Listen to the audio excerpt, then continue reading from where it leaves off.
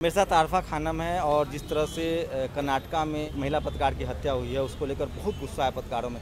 क्या लग रहा है उनको अपनी जान की कीमत सिर्फ़ इसलिए चुकानी पड़ी क्योंकि वो एंटी एस्टेब्लिशमेंट के खिलाफ बात कर रही थी, वो सरकार के खिलाफ बात कर रही थी, वो प्रो पब्लिक पत्रकारिता कर रही थी? देखिए धर्म युद्ध छिड़ चुका है और सबको पता है कौन किस तरफ़ है। आज ये डर जो है, अब तक ये कहा जाता था कि आखिर बताइए हमें डर कहाँ है। जैसे कोई दस्तावेज़ है और हम डर को हम रजिस्टर कर देंगे, हम साबित कर देंगे, आपके सामने जो है कागजात दे देंगे कि ये देखिए, डर होता है। आज वो दस्तावेज़ हमारे सामने है गौरी लंकेश के शव के तौर पर कि डर है भारत में पत्रकारिता को, पत्रकारों पर, उन पत्रकारों को जो सवाल उठा रहे हैं, उन पत्रकारों को जो सच के साथ खड़े हैं, उन पत्रकारों को जो जवाबदेही मांग रहे हैं, उन पत्रकारों को जो धर्म की राजनीति के, हिंदुत्व की राजनीति के खिलाफ हैं। उन्हें दिन रात सुबह शाम उनकी जान को खतरा है, उनके माल को खतरा है, उनके परिवार को खतरा है। इस खतरे के साथ हमें रहकर पत्रकारिता करनी होगी। और इतना आप इस बात का ध्यान रखिए कि दो तरह से पत्रकारिता भारत में होगी। गौरी लंकेश से पहले की पत्रकारिता और गौरी लंकेश के बाद की पत्रकारिता। आप ये ना समझिए कि पत्रकारिता वैसे ही रहेगी। चाहे कितना भी हम बहादुरी दिखाने की कोशिश करें और कहें हम पहले से ज़्यादा मुखर हो जाएँगे। बहुत सारे लोग सेल्फ सेंसरशिप करेंगे, बहुत सारे लोग अपने को एडिट करेंगे और वो नहीं कहेंगे जो वो कहना चाहते हैं। आप एक महिला पत्रकार होने के नाते किस तरह के और खतरे हैं जब आप इस तरह की पत्रकारिता करती हैं?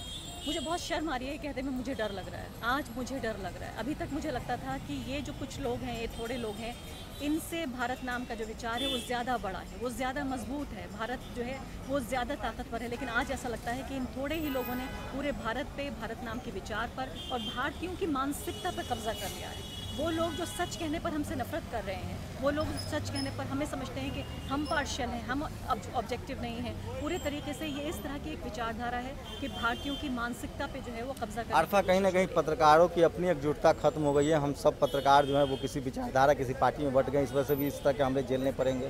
पूरी तरह से अब ये देखिए आपकी गौरी लंकेश में से एक बहुत छोटे अल्पसंख्यक दर्जे का हिस्सा है एक अल्पसंख्यक ग्रुप का हिस्सा है जो अभी भी सवाल उठा रहा है। इसीलिए अगर हम सब सवाल उठाएँगे तो किसी एक को मरने की ज़रूरत नहीं पड़ेगी। क्योंकि ये तबका इतना छोटा हो गया है कि आउटस्टैंड होता है ये उभर के आ जाता है। और इसीलिए गौरी लंकेश को मरना पड़ता है।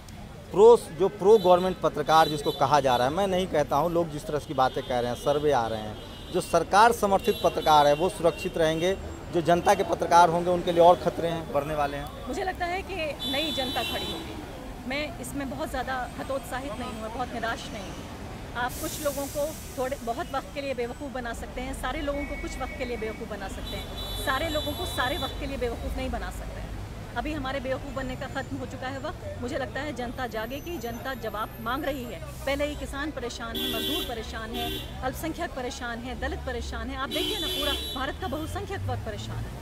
क्या लग रहा है सरकार, खासकर कांग्रेस हो या बीजेपी हो, ऐसे फंडामेंटलिस्टों पर कार्रवाई नहीं हो रही है? ऐसे जो कट्टरवादी हैं, किसी मज़हब के हो, किसी जाति के उन पर कार्रवाई में ढिलाई हो रही है।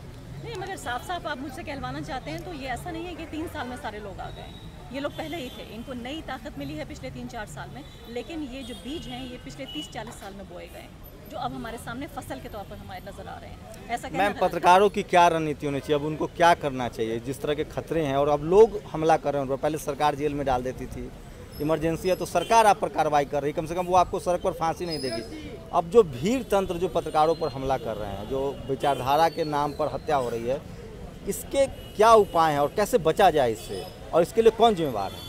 ये बहुत मुश्किल सवाल है और शायद इसका कोई एक जवाब नहीं हो सकता। मुझे लगता है जिस एकता की आप बात कर रहे हैं, वो तो संभव नहीं है। पत्रकारिता दो खेमों में बढ़ चुकी है प्रो गवर्नमेंट और एंटी गवर्नमेंट अभी इसमें कोई तालमेल की गुंजाइश नहीं लगती। मुझे लगता है जो पत्रकार सच की दिशा में आगे बढ़ रहे हैं, वो उन खतरों को जानते हुए कि उनके साथ क्या खतरे हैं, उस खतरे को जानते हुए आगे बढ़ना होगा। सरकार से डिमांड करनी होगी, एक प्रेशर ग्रुप बनाना होगा इन्हीं पत्रकारों जो राइटफुल पत्रकार हैं जो सच की बात कर रहे हैं इसके अलावा और कोई चारा नहीं है। हमें जो डेमोक्रेटिक इंस्टीट्यूशन है हमारी अदालतें हैं हमारे पास इन्वेस्टिगेटिव एजेंसीज हैं इन सब पे हमें इनका सम्मान करना है और इन पे विश्वास करना है इन्हीं के साथ आगे बढ़ना है हमें। मतलब एक और मैं पता नहीं सवाल को आप कैसे लेंगे? मतलब अगर आप सच्चे पत्रकार हैं तो आपकी हत्या होगी तभी आप सच्चे पत्रकार का आपको दर्जा मिलेगा। ऐसा नहीं कहेंगे लेकिन हम सब खतरे के दायरे में इससे इनकार नहीं किया जा सकता। और हमें इस खतरे से अवेयर होकर जानते हुए कि हम खतरे में हैं हमें आगे बढ़ना होगा। तो आप समझिए कि दो तरह की पत्रकारिता हो रही है और ये पत्रकार भी मान रहे हैं, वो दो धरे में खुद भी बटे हुए हैं। अब ये आपको तय करना है कि जिसकी हत्या हो रही है, वो ज़्यादा सही पत्रकार था या जिसको गोदी मीडिया कहते हैं। हालात बहुत बुरे हो गए हैं, लेकिन इससे रास्ते भी बनेंगे।